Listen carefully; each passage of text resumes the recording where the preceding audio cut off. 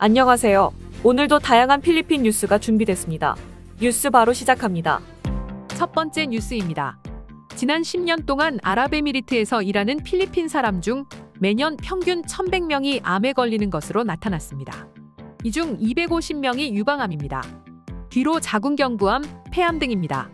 아랍에미리트에는 약 100만 명의 필리피노가 거주하고 있습니다. 이 중 절반 이상이 두바이에 거주합니다. 다음 뉴스입니다. 최근 미국이 필리핀에 대해 5억 달러 군사 원조를 한 것에 대해서 중국은 미국과 필리핀이 지역의 위험을 더 훼손하고 있다고 경고했습니다. 중국 외무부는 미국은 남중국해 문제의 담당자가 아니기에 필리핀과 중국 사이에 끼어들 권리가 없다고 밝혔습니다. 다음 뉴스입니다.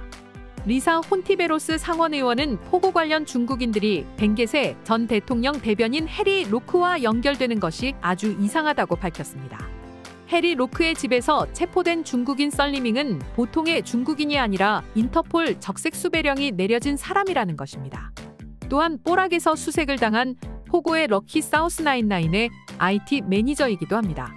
해리 로크의 도움으로 PAGCOR로부터 융자를 받기도 했습니다. 다음 뉴스입니다. 까마리네스 수르의 나가시티에서 필리핀 코브라 뱀이 한 주택에서 잡혔습니다. 이 코브라는 먹이를 찾아 집으로 들어온 것으로 보입니다. 당국은 이럴 경우 직접 잡으려고 하지 말고 신고해달라고 당부했습니다. 다음 뉴스입니다. 마니벨라 교통운송단체는 상원이 통과시킨 대중교통 현대화 사업 연기를 허가해달라고 대통령에 호소했습니다. 지난 수요일 상원 23명 중 22명은 대중교통 현대화 사업의 일시적인 연기에 서명한 바 있습니다. 지프니 기사들에게는 은행이 대출을 해준다고 해도 200만 페소의 신형 지프니는 여전히 큰 부담입니다. 다음 뉴스입니다.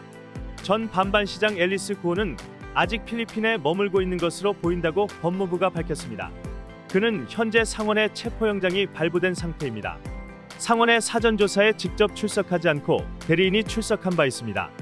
다음 조사 청문회는 8월 6일로 잡혀 있습니다. 다음 뉴스입니다. 국어의 달을 맞아 봉봉 마르코스 주니어 대통령은 필리핀 국민들에게 국어 사랑을 강조했습니다.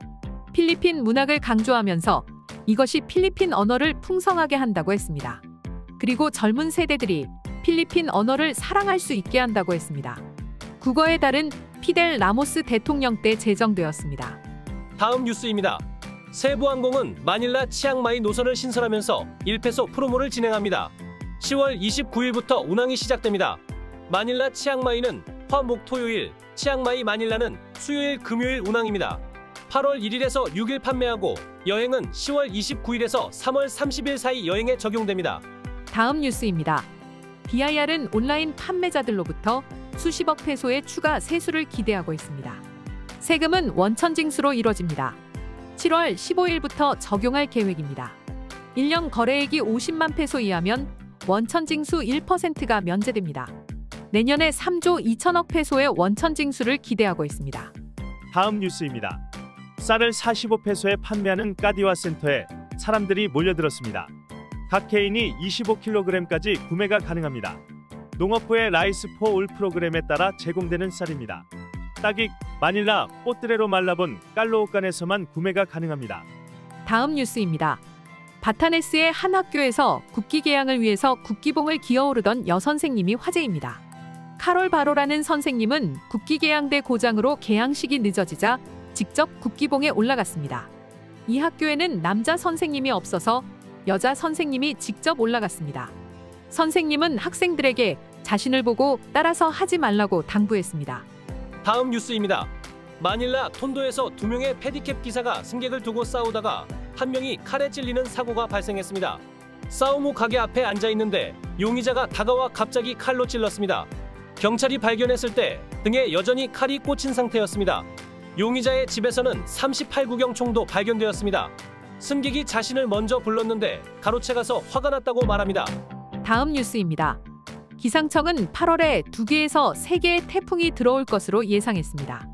일반적으로 연 19개에서 20개의 태풍이 들어오는데 올해는 13개에서 18개로 예년보다 적을 것으로 예보한 바 있습니다. 향후 수일 동안은 비가 적을 것으로 예상합니다. 몬순의 영향이 작아졌기 때문입니다. 오늘의 따갈록 한마디. Bumuti ang panahon. Bumuti ang panahon. Let's repeat it again. Bumuti ang panahon. Bumuti ang panahon. 오직 성령이 너희에게 임하시면 너희가 권능을 받고 예루살렘과 온 유대와 사마리아와 땅 끝까지 이르러 내 증인이 되리라 하시니라. 사도행전 1장 8절 말씀입니다. 네, 오늘 뉴스는 여기까지입니다.